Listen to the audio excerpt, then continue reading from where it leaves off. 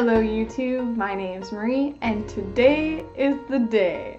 In my early August wrap up, I mentioned that I was watching Heirs and that I had two episodes left in Heirs and that I would do a full review on Heirs once I finished.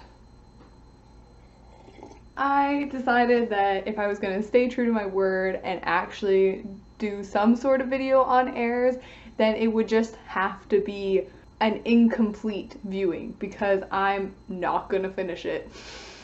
And just a heads up for you guys, I didn't script this video. It either will be really long and rambly because I don't know what I'm gonna say, we'll just see what happens to come out of my mouth. or it'll be super quick because I'll have to edit everything out. So who knows? Who knows what this is gonna be? So if by chance you don't know what Heirs is about, Heirs is about a girl who is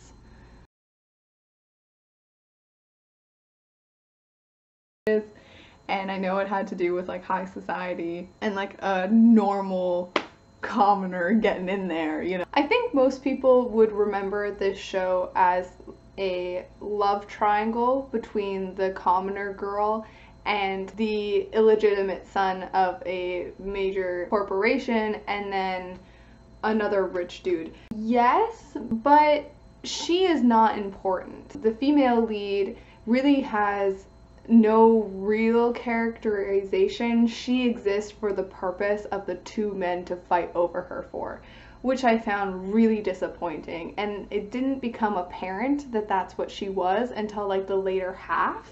Not to say that the people that are fighting over her are not interesting, because if this was marketed more as rivalry between two young men, I think it really succeeds in that respect. I thought a lot of their interactions were really interesting and engaging, and they have quite a bit of growth together, like as a unit. Everything else is quite good or passable. The music, the soundtrack, is both ridiculous and wonderful at the same time because they use this like electric guitar riff. When it's used in moments of weight, it works really well and I was impressed at the high stakes that the show did have. Like people do fight and, and then other times they throw it in when like characters are just like staring at each other from across the way and I'm like you're taking yourself way too seriously so let's talk about the acting, which is phenomenal. I think everyone did a spectacular job. I can't think of anything I would do differently. Even the female lead who character I think is really lacking, the actress did a really wonderful job with what she was given. Like Okay, I feel like I'm running through my ideas really quickly. So I talked about the flat characters, I talked about the rivalry.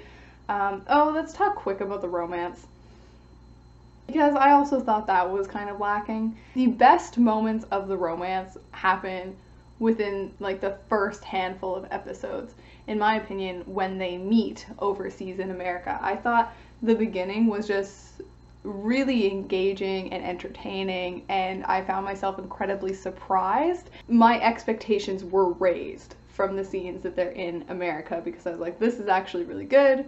I like the interactions, and it makes sense, you know this sort of setup for like star-crossed lovers, like two people from different socio-economic ranges, I guess, um, it does make sense in this respect of how they meet because the people you can interact with when you're overseas who speak your the same language, you know, it gets smaller. So it does I do like the setup a lot.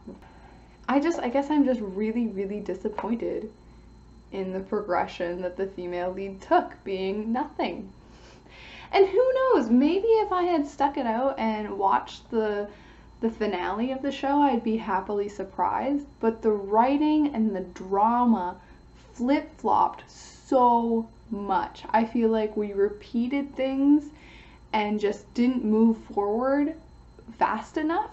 I think this show could easily lose three episodes and I didn't even watch all of it. So the the pacing's not there at all. It's it's too long. Um the side characters are pretty forgettable. Really, the only ones that have sticked with me since like watching it, which was several weeks ago. Like I didn't watch anything more after my August wrap up, so that's how long it's been. Are definitely the two male leads. They are the standouts, and I just really enjoyed them. The beginning, basically nothing else. What is my overall rating for Heirs? Keeping in mind that I did not watch the last two episodes, but to me that's okay. I am not going to force myself to watch something that I am no longer enjoying. 2.75 to 3 out of 5 stars. That is everything for me. I'm glad I finally sat down to watch this and I'm gonna edit it and put it up today so that I can get it off my mental to-do list. Have a good day, have a good night, bye.